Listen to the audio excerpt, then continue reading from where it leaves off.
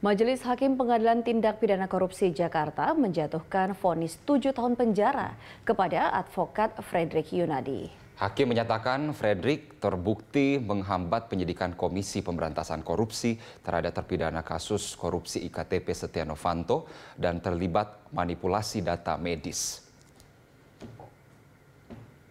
Selain difonis tujuh tahun penjara, Hakim Saifuddin juga mengganjar Frederick dengan pidana denda sebesar 500 juta rupiah.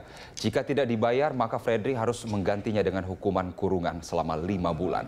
Alasan memberatkan vonis Frederick adalah tidak mendukung pemerintah dalam upaya pemberantasan korupsi.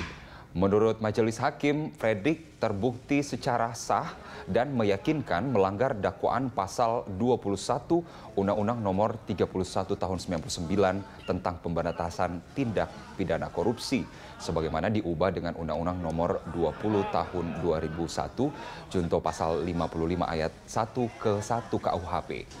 Ponis hakim terhadap Fredri ini lebih ringan dari tuntutan jaksa KPK. Sebelumnya jaksa KPK menuntut Fredri dengan hukuman 12 tahun penjara dan denda 600 juta rupiah subsidiar 6 bulan kurungan.